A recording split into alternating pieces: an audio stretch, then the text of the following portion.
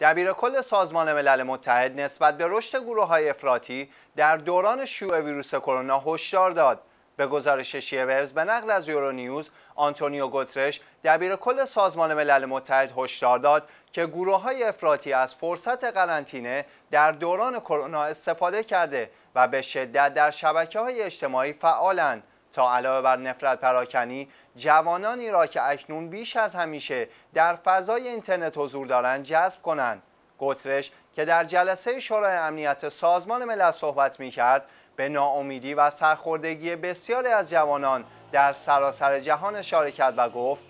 حتی قبل از شیوع کرونا نیز یک پنجم جوانان در سراسر جهان به هیچ آموزش، کار یا کارآموزی خاصی مشغول نبودند و یک چهارم آنها تحت تأثیر خشونت و درگیری های منطقه قرار داشتند. به ادامه داد علاوه بر این هر سال 12 میلیون دختر نیز در زمانی که هنوز خود کودک محسوب می شوند به اجبار مادر می شوند. بر اساس این گزارش دبیر کل سازمان ملل هشدار داد که مجموع این وضعیت اسفبار باعث شده است که عدم اعتماد جوانان به نهادهای سیاسی و مدنی و در نتیجه جذب آنها به گروه های افراطی به طور قابل توجهی افزایش یابد.